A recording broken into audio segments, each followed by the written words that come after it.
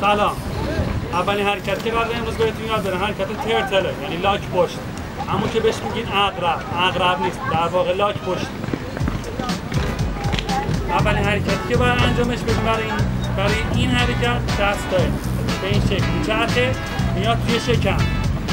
یه بار دیگه میدم این میاد توی شکم. بعد همین رو می‌ذارید میزن به این شکل.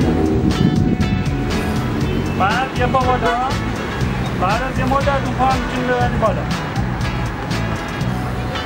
به این شکل به این شکل